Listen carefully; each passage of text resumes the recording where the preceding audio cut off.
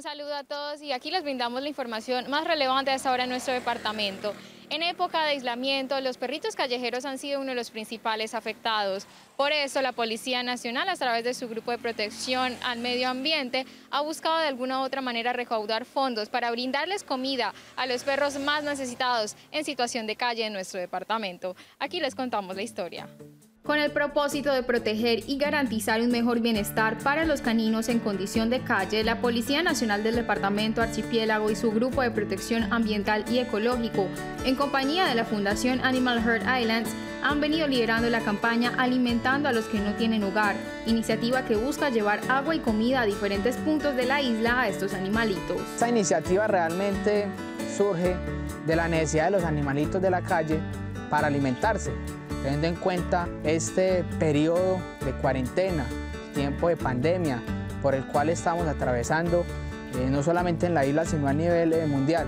Entonces, producto de los patrullajes constantes que realizamos en la calle, pudimos identificar la cantidad de animales abandonados que se encuentran en toda la jurisdicción de la isla y a partir de esto nace esta bonita labor de la cual nos sentimos muy orgullosos el día de hoy. Para la alimentación de estos animales callejeros, miembros de la policía fabricaron comederos de tubos PVC y los ubicaron en lugares estratégicos de la isla para que puedan ser utilizados por los caninos. Bueno, inicialmente eh, ubicamos eh, algunas tazas, algunos baldes para alimentar los, los animalitos sin hogar. Después nos asesoramos y en eh, bajo el acompañamiento y bajo el, liderazgo de, los, dos oficiales que nos encontramos aquí, eh, logramos vincular algunas personas, algunas ferreterías, algunas ONG, algunos hogares y particulares de la isla quienes nos han ayudado no solamente con los comederos, sino con la alimentación y el agua potable para los animalitos. La Policía Nacional seguirá buscando personas solidarias que se quieran vincular con esta actividad a través de las donaciones de alimento. Para eso solo deben contactarse con el Grupo de Protección Ambiental y Ecológico del Departamento de Policía de San Andrés. Esta es toda la información que reportamos hasta esta hora en nuestro departamento, informó Alice Medina Bush para la Alianza Regional Informativa.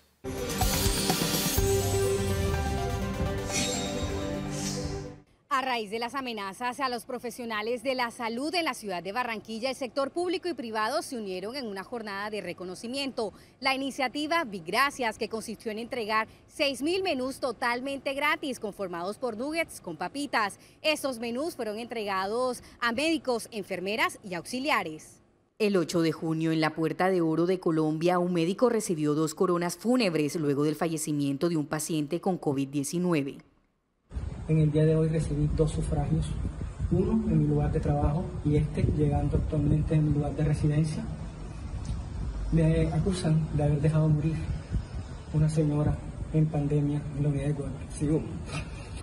Una semana después, dos médicos de urgencia, un camillero y auxiliares de enfermería resultaron afectados por dos personas en el centro asistencial Camino Bosques de María.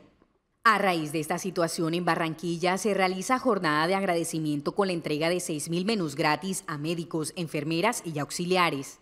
Estamos con ustedes, apoyándolos y valorando su trabajo porque ustedes están salvando vidas. En medio del aislamiento preventivo, la entrega se realiza a través de servicios sin bajarse del vehículo, implementando medidas de seguridad que garanticen el distanciamiento social y permiten entregas sin contacto. 6.000 menús. ¿A quiénes? A aquellas personas que han sido incondicionales con nosotros, los profesionales de la salud. Sin duda, el personal médico pide comprensión a los ciudadanos hacia su labor. Eh, gracias por este detalle. También invitar eh, a tener solidaridad con todo el servicio de la salud, pues estamos brindando todo nuestro mejor eh, ayuda. Informa Sajira Iglesias desde la región Caribe para la Alianza Regional Informativa. La pandemia trajo consigo una nueva normalidad que incluye protocolos de bioseguridad, incluso para deleitarse con una buena taza de café.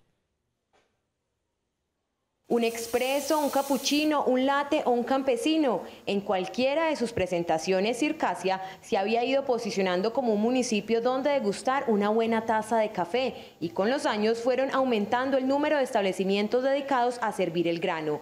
Hoy, luego del aislamiento preventivo, la localidad busca reactivar los negocios con un plan piloto denominado Circasia al aire libre. Todos necesitamos de ese esparcimiento después de este largo proceso de encierro, de este largo proceso de cuarentena y venir a disfrutar en familia es algo que nos va tanto a llenar el alma como a llenar el corazón. Los cafés de mayor tradición fueron los primeros en abrir nuevamente las puertas al público bajo todas las normas de bioseguridad.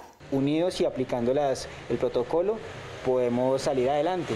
Se hace con el acompañamiento, con el trabajo en conjunto con la comunidad, porque el protocolo no es solamente de la persona que lo realiza, sino de quien lo ejecuta. El objetivo de esta reactivación gradual es seguir disfrutando de un buen café y la generación de ingresos para los establecimientos. Es el trabajo conjunto para poder ofrecer el café que están acostumbrados, con el sabor que están acostumbrados, con la atención y sobre todo que esto es, solamente, es un hogar para todo el municipio. Este es un lugar representativo que nos enseña mucho de la cultura cafetera.